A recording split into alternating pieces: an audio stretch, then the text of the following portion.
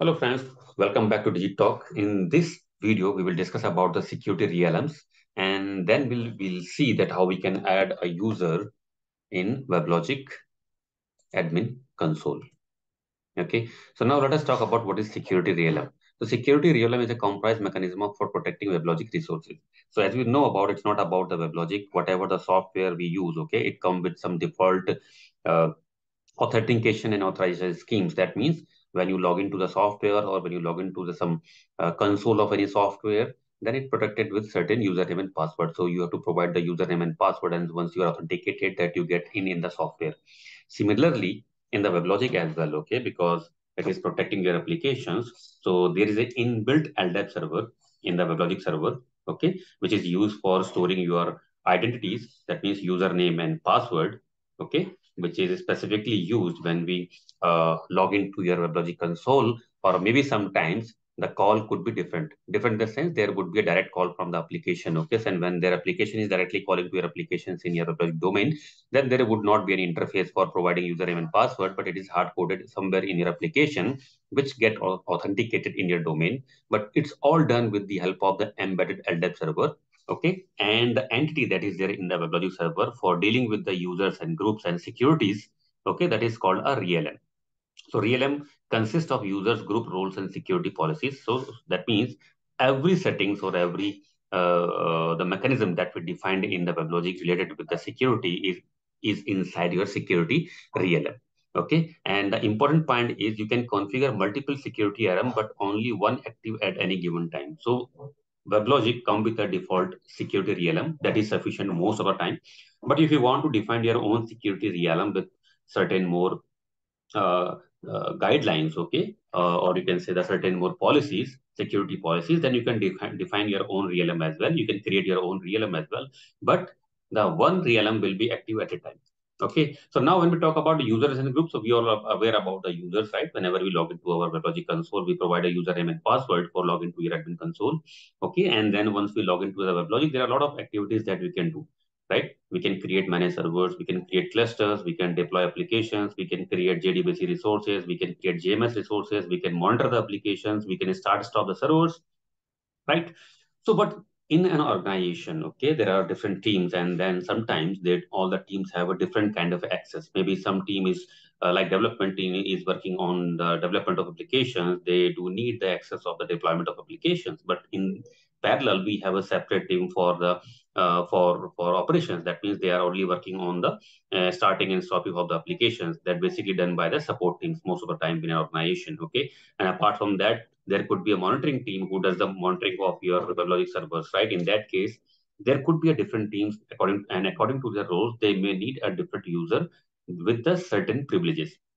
Okay, so there would be an admin user that is uh, uh, that is uh, you can say it's, a, it's, it's it's all about the all the softwares okay whenever a software we install it come with a admin user most of the time okay and then you can have uh, then you have flexibility to create a different uh, users okay for different kind of a purpose. So as i said specifically in case of WebLogic server we by default when we installed and we create a domain an admin user is created okay during the creation of a domain.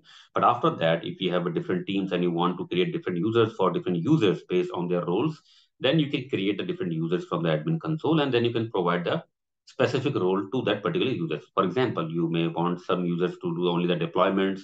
For some users, you want they can only do the monitoring of the applications. For some users, you want that they can only start stop the applications but cannot do the deployment. So these kind of facilities that you can perform with the help of security realm, where you can define different users and groups. Okay, and then you can distribute the users to the different group of people. Okay, so when we talk about groups, so group is a collection of users who usually have something is common, such as working in same department in a company.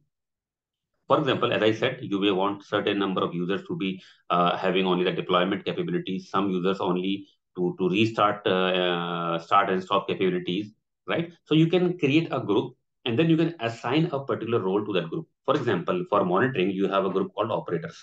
Okay, so you can create a group and of users, okay, and you can assign all the users that particular group so that they will get the operator's role. Otherwise, you have to assign this group, this particular role to each and every user. Okay, so group is a group. Group is just a set of privileges that we can assign to all the users in a one go. Okay, so now let us see how we can create the users. But before that, the default groups that comes with the WebLogic, one is the administrator. Okay, this is the default.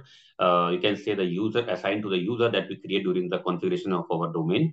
Okay, it has all the capabilities to view the configurations, to modify the configurations, to deploy any kind of applications, and then start, resume, stop server. So these are the four functionality that mainly we do uh, in the WebLogic, where we do the uh, where we can see the configurations, we can modify the configurations, we can do, deploy the applications, and then uh, we can do a lot of other kind of configurations as well, along with we can start, stop, and resume the application. So, right. Second role is called deployers. So this specific role is only for the deployment capabilities.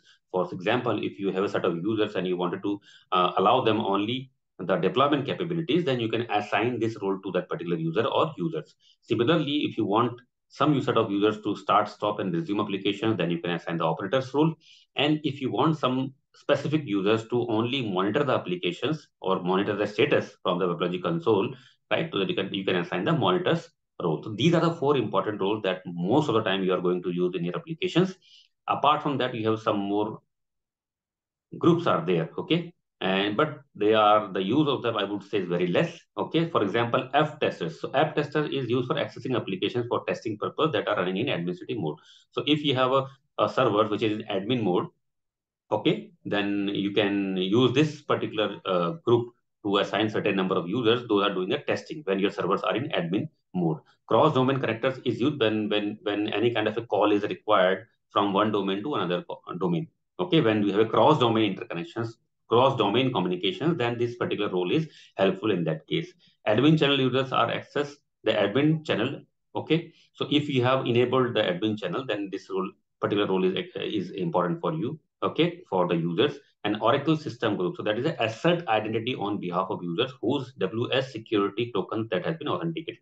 This is a bit advanced option and that you can able to understand this one once you will do a study of IDM and then OEM and then uh, certain kind of a security software that comes from the WebLogic, uh, from the Oracle, maybe from the some other vendors as well. But important is that you have to understand the meaning of assert, identity, and then when we talk about the security tokens, okay? But as a beginner, okay, uh, you uh, really don't need to bother about these roles, okay? You just focus on the four roles that I have highlighted, that is for administrators, deployers, operators, and monitors. Administrator is will give you the full capability. Deployer will give you the only the deployment capability operators will give you the start and stop capabilities and monitor will give you only the view the configurations or view the status of your applications from the admin console. Now to create a user, just you have to go to your admin console, click on security realms. After that, just click on the name of the realm, which is the default realm is my realm. After that, you click on the users and group. Once you will click on users and group, there will be two subtabs that is called users and groups. So first click on users it will display you the, the default user, those are there in your WebLogic console. Okay. Then there's other, another uh, uh, tab that is called groups. So once you will click on groups tab, it will list you all the groups those are there. So all the groups we have discussed so far in the previous slide. So all those groups are there, right? So if you wanted to create a new user, just click on the new. Okay. When you click on the users tab, then click on new user.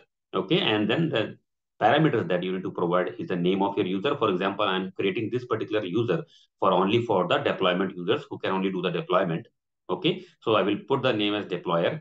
Description I will give as to deploy application so that if you go to console and look for the user, so you can understand from the description what is the role of this particular user. Provider is you can choose a default authenticator, which is the inbuilt LDAP server of your WebLogic server. Okay, which has all the security implementations and then you provide the password for your user. So once it is done, click on save and then you will see the user listed under the users tab deployer.